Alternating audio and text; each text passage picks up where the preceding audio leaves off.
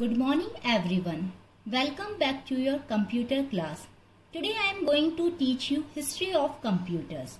In early times, people used fingers, stones and bones for calculation. Later, the Chinese developed the abacus which helped in counting large numbers.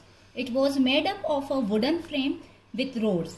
Each rod had a number of beads. The abacus was the first calculating device. It was mainly used by merchants and traders who needed to count the items they sold or bought. It was used to perform addition and subtraction easily and speedily. It is dividing into two parts called heaven and earth. Heaven was the upper part and earth was lower one. Napier bones. As necessity demanded, scientists started inventing better calculating devices. In this process, John Napier of Scotland invented a calculating device in the year 1617 called the Napier bones.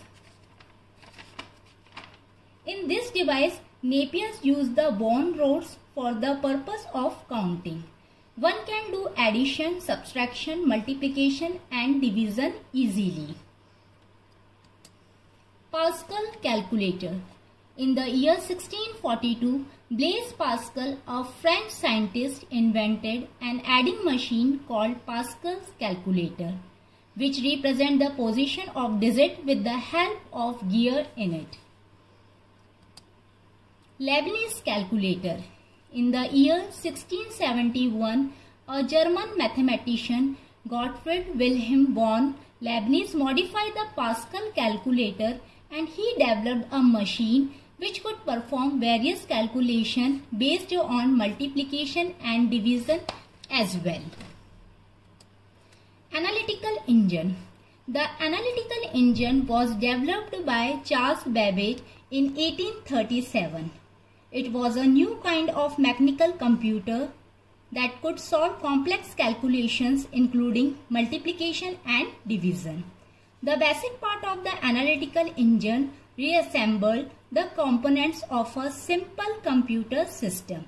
It had five units, input, output, store, mill and control.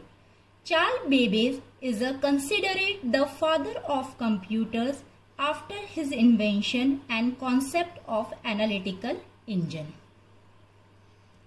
That's all for today. Thank you.